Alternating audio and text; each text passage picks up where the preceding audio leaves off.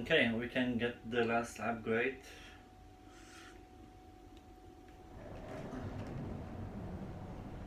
Uh, wait.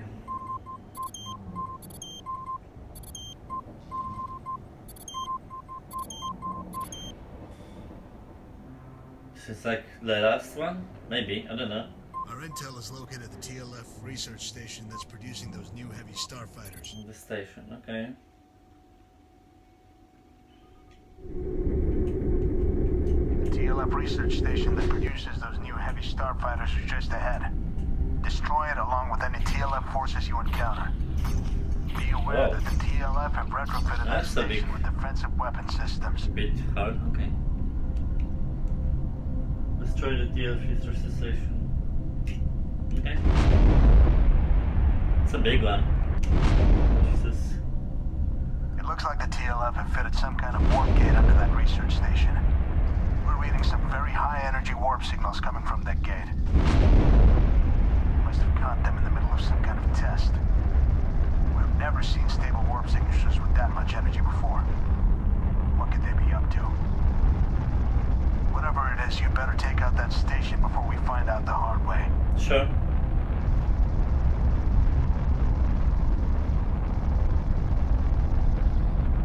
Here come your fighter squadrons.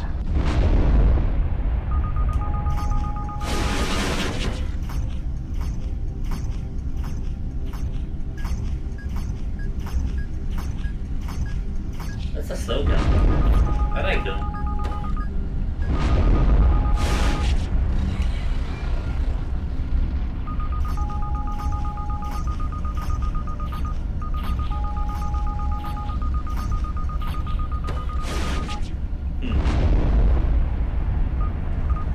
Feel like um, the plasma gun should be for something that's like slow, but for them it's a little bit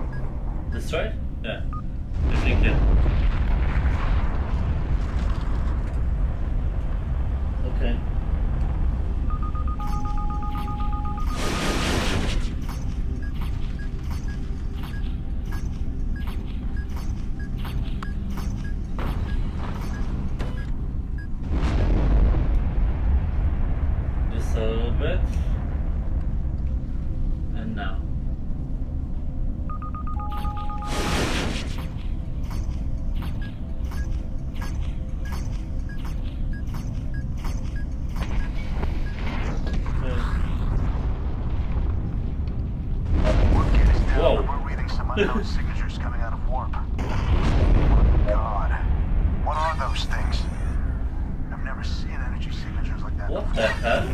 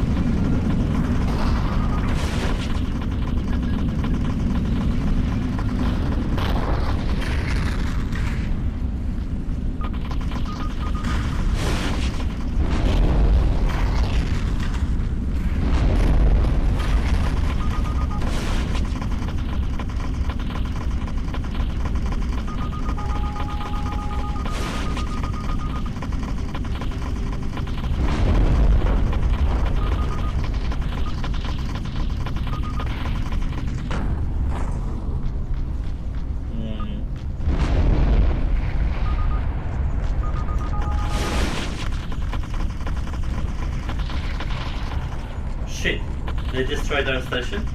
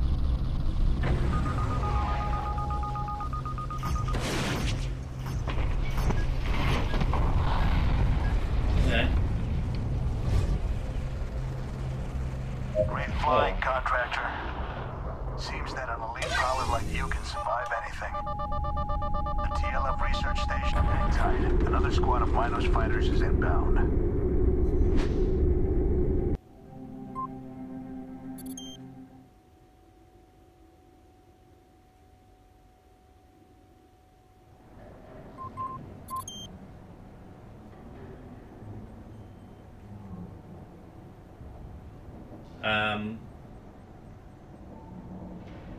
Guess that was it? Illegal mine. Our intel is located at the TLF research station that's producing those new heavy starfighters. Our intel is located at the TLF research station that's producing those new heavy starfighters. So wait, uh, they told It it seems they're operating out of a mobile research station which is currently in the A51 sector. It will be your task to take out that Yeah. research station and eliminate any TLF forces you find there. Our sensors have picked up a variety of warp disturbances coming from this sector, so you should be prepared for anything. Can I? It seems the TLF are interested in more than just developing bigger starfighters. Mm-hmm. Thank you. Um, so wait, 1, 2, 3, 4, 5, 6, 7, 8, 9, 10, 11, 12. Wait. 3, 6, 9, 12. Well, I heard the... are 30 missions. Wait, so, so I guess that's it? Wait, is there something I, I didn't see? I don't think so. Whoa, the fuck? I didn't know I can travel through the station. Okay, that's good to know. What's there?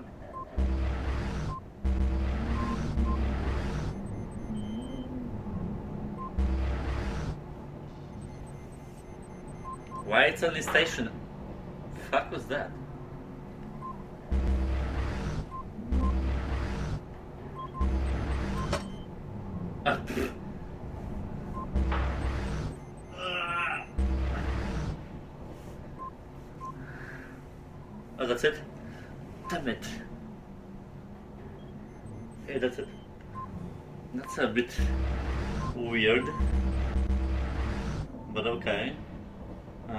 Jesus.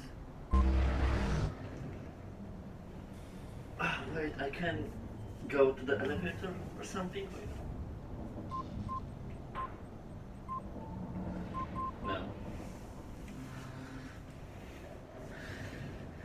Alright, let me check on the internet if there's something more, but I think that will be it, so uh, be right back.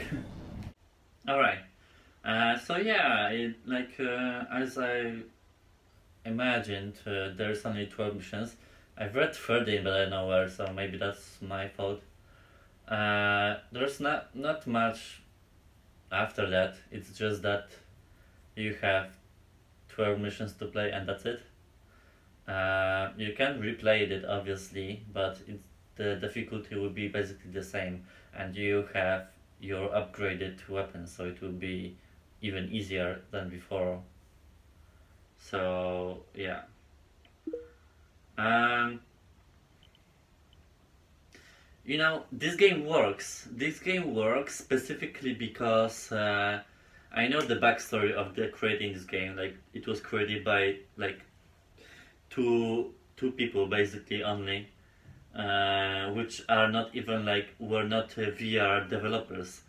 Um, it was started developing like three four years ago, uh, so it's it was an amateur project that turned out to be a VR game, which I can applaud because uh, they specifically learned to develop games in VR and then like publish this game through Gear VR, Cardboard, or stuff like that.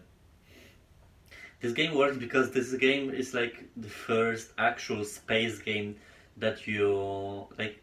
It's if you are familiar with a classic arcade shooters like from the 2000s, then that's clearly it. This one.